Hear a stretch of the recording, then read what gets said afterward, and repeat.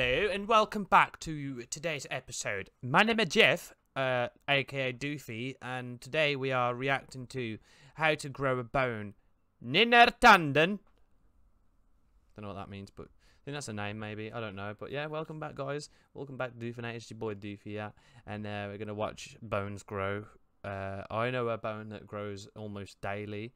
Um, so yeah, let's get right into the boners. Boner.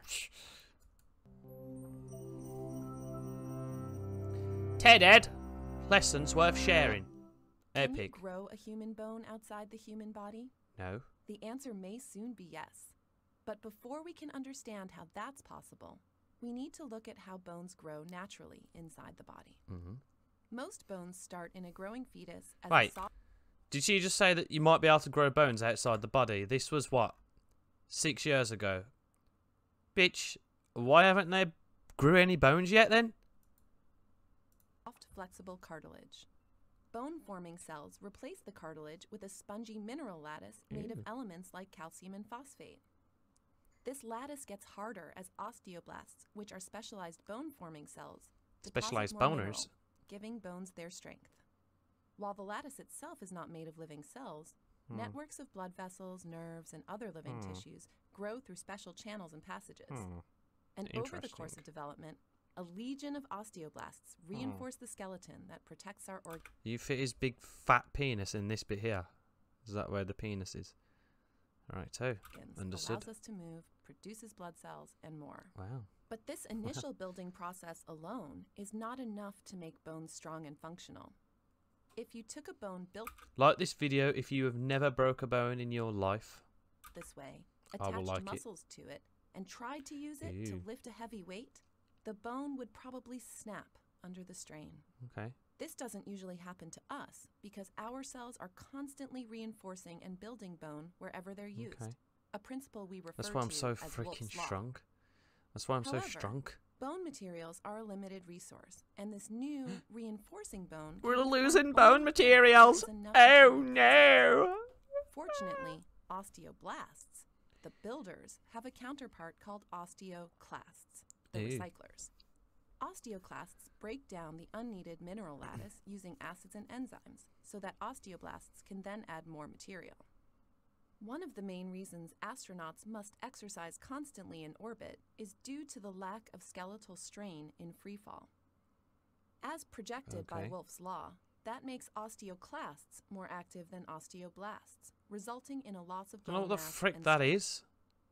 When bones do break, your body has an amazing ability to reconstruct the injured bone Indeed, as if they the do. break had never true. happened. Certain situations, about that. like cancer removal, traumatic accidents, and genetic defects, exceed the body's natural ability for repair. Historical solutions have included filling in the resulting holes with metal, animal bones, or pieces of bone from human donors.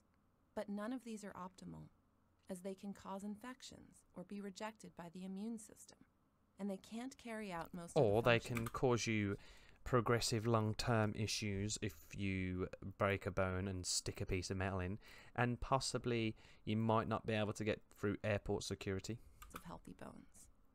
An ideal solution would be to grow a bone made from the patient's own cells that's customized idea. to the exact shape of the. Exactly. Good And idea. that's exactly what scientists are currently trying to do. Well, they're taking the piss. It's been six Here's years. how it works. Why don't they cure cancer first? Doctors extract stem cells Before from going a on to patient's something fat else. tissue and take CT scans to determine the exact dimensions of the missing bone. hmm They then model the exact shape of the hole either with 3D printers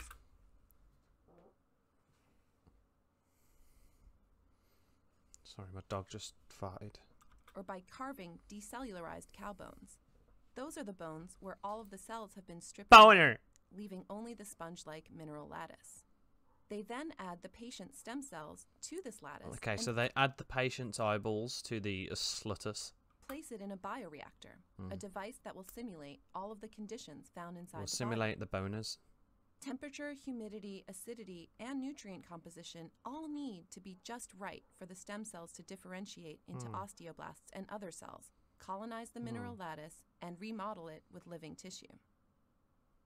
But If you guys would like a new uh, season of episodes, uh, we can call them Science with Doof. From now on, uh, we will put in the description Science with a Doof. There's one thing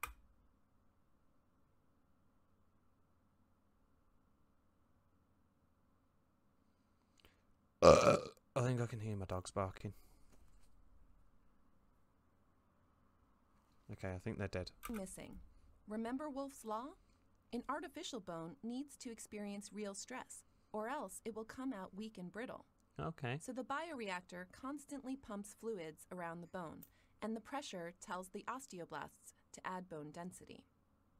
Put all of this together, and within three weeks, the now living bone is ready to come out of the bioreactor and to be implanted into the patient's body.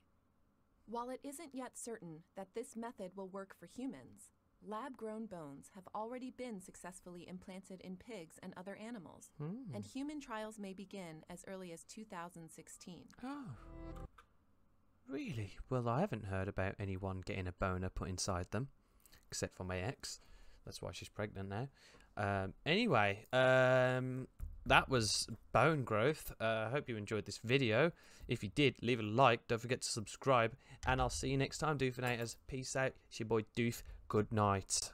It's, it's been your boy Doof.